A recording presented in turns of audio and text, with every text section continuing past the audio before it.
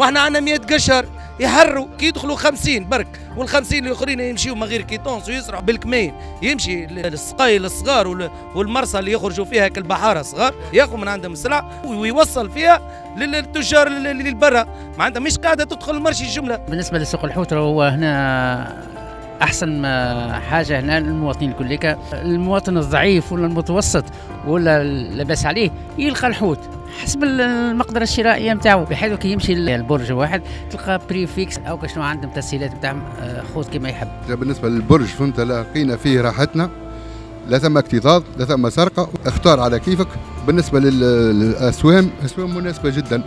عجبني برشا نظيف. الاسوام زاد خير من باب جبلي. تختار على ذوقك وعلى كيفك وحتى العباد نضاف بصراحة. كل شيء طري هنا وناخذ ناخذ على على عيني سوق الحوت فيه الغشة برشا. أنا عندي رأي وما عندهم رأي. أنا رأيي كي يكون سوق الحوت هنا أحسن حاجة.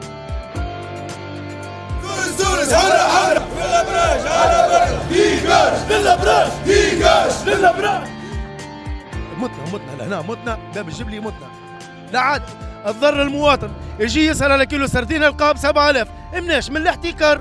يجي الصباح قشار البرا البرد. البرد يجي ياخذ في ترى لا يعمل له الهبط يقول له لا تبعت السلعه تبعت شنو تبعت وقتاش تبعت ساعتين ونص ثلاثة. نروح الأربعة نتاع الصباح ندخل هذا تباع هذا تباع. جي تاخذ طارق ما تنجم تشري حتى شيء. والله أنا ما عندي رايي أنا ما نجمش نقول يغلق ولا ما يغلقش. المهم هي النقابة والحكومة اللي تأخذ الموقف نتاعها